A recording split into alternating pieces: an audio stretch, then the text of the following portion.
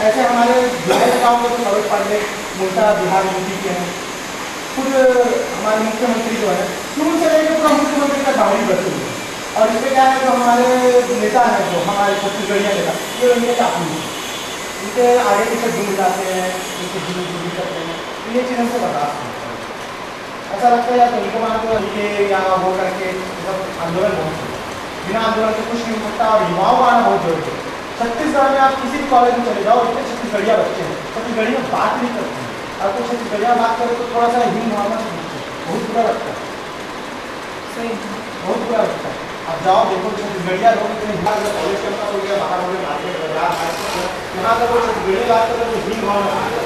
तो ये बहुत ही तुच्छ सोच समाज से इसको हटाना बहुत ज़रूरी है। खास कर युवा कोशिश करो इसको एक लाइन में परिभाषित करो बहुत ज़रूरी अब सीधी सा बात यही है बताओ छत्तीसगढ़ मेरा उद्देश्य और मेरा सबसे बड़ा उद्देश्य वही है कि इनके वजह से जो बाहरी लोग हैं फल फूल रहे हैं वजह सिर्फ़ सिर्फ़ राजनीति है। और इस गंदी राजनीति को खत्म करना बहुत ज़्यादा है। कारण पे बोलिए कारण क्या है नहीं है हाँ अपमानित महसूस आप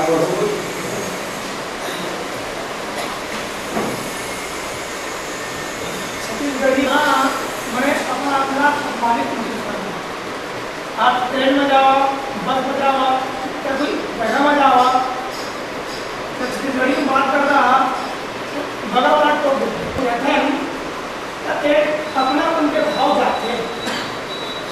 हिंदी मात्र एक सही बात है छत्तीसगढ़ी बोले अपना, शर्माना नहीं चाहिए और ओकर का हर संभव प्रयास करना चाहिए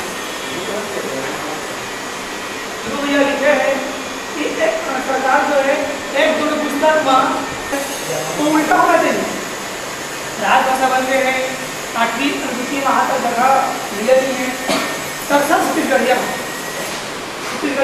है और साथ साथ छत्तीसगढ़ी मिल के बात में है संगठन के माध्यम से सबसे बड़े मैं हूँ है राजनीति अलग बात है छत्तीसगढ़िया है सबसे बड़ी बात तो छत्तीसगढ़ी जन जन के में है हृदय में है छत्तीसगढ़ी छत्तीसगढ़ रहने वाला छत्तीसगढ़ी तो बोलना है बोले तो महान नहीं बन जाता है। बहुत सारे संगठन बने हुए हैं।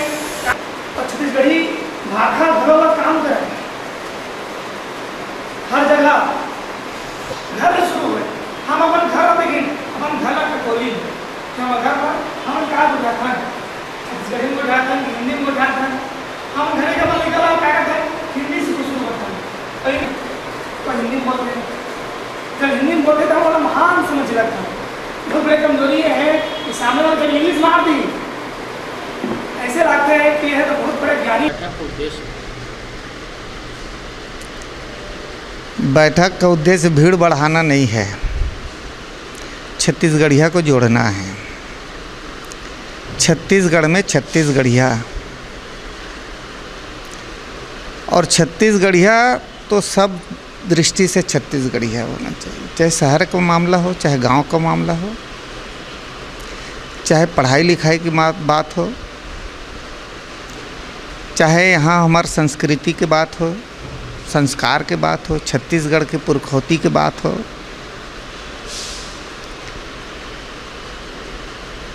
छत्तीसगढ़ के विकास के बात हो तो विकास के अमूमन पक्षधर हन। पर छत्तीसगढ़ के कति बार विकास हुआ थे ये हर हमला समझ में नहीं आवा है। और खासकर छत्तीसगढ़िया मन ला नहीं समझ में आते। अपन अपन दुख ला पीड़ा ला सब कहत है पर जुरिया नहीं सकत है। कुछ कहीं के डर हवे हूँ मल्ला कोई अगुआ नहीं है हमारे बीच में। ताराचंद साहू रही ने, स्वाभिमान मंच बनाए रही ने। ओकर बाद छत्तीसगढ़िया मन आऊ अधूरा हो गए उनकर जाए के बाद। आज के तारीख में छत्तीसगढ़िया के कोई चिन्हारिच मनखे नहीं दिखत। कि कोनो के आगू में जा कर के हर हमार छत्तीसगढ़िया है यहाँ हमन दबंग, दबंगतई दिखाई ये काम ला करी, देबूता ला करी ऐसा कोनो कुछ नहीं है। आप आगे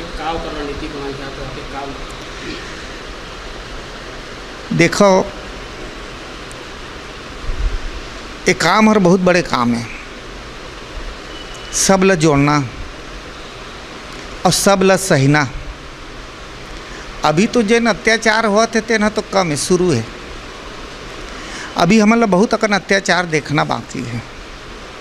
और बहुत अकन अत्याचार सहना भी बाकी है। और इसने लड़े भी के भी बाकी है। लड़बो भी अटल जी हर थारी में सजा करके छत्तीसगढ़ राज ला दे दीस बिना संघर्ष के, बिना संघर्ष के कुछ नहीं मिला है।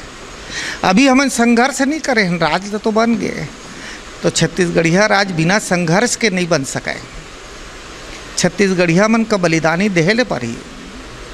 छत्तीसगढ़िया ला आगू आए चले ही। छत्तीसगढ़िया ला हर घर ले एक लड़का निकले चले पर ही छत्तीसगढ़ के हर चीज़, हर जतन ला करेल पर ही और छत्तीसगढ़ हम तो समझा था ना अब छत्तीसगढ़िया मन जागत है। अभी तक के जुरे के गोट होत रही से अब जागे के गोट करत हन कि छत्तीसगढ़िया अब जागना शुरू कर दिए है। और जागी,